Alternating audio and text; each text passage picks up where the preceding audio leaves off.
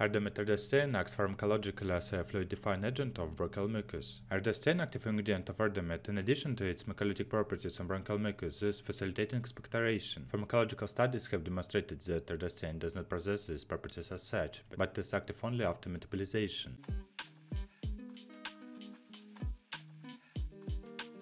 Indications, uses Mucolytic agent for use in adults with acute and chronic respiratory disorders associated with excessive mucus production.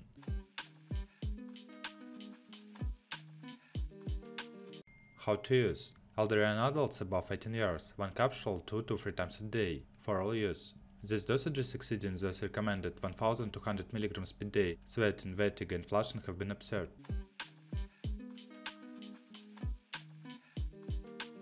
Contraindications Hypersensitivity to the active substance or to any of the excipients patients with active peptic ulcer because of a possible interference of the product metabolites with methionine metabolism. Erdomed is contraindicated in patients suffering from hepatic cirrhosis and deficiency of the cystathionine synthase enzyme. Since there are no data in patients with renal failure with creatinine clearance less than 25 ml per minute or with severe liver failure, the use of erdosteine is not recommended in these patients. The drug is contraindicated in children younger than 2 years, oral forms.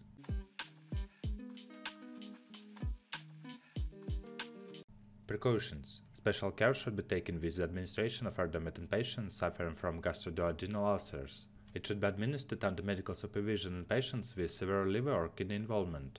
Because there are no clinical data available and it is not known whether the drug passes into breast milk, Erdomed is not recommended during breastfeeding. This medicine contains sugar. If you are intolerant to some sugars, consult a doctor before taking.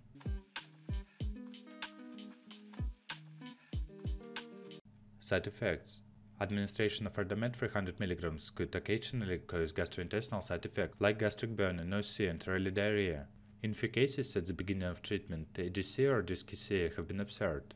Hypersensitivity reactions, skin rash, urticaria, unexpected hyperpyrexia are rare. 1 to 3%, gastralgia, nausea, headache, half to 1% constipation, diarrhea, mouth dryness, vertigo, general malaise. The observed adverse reactions are not different from a qualitative point of view from those and the placebo.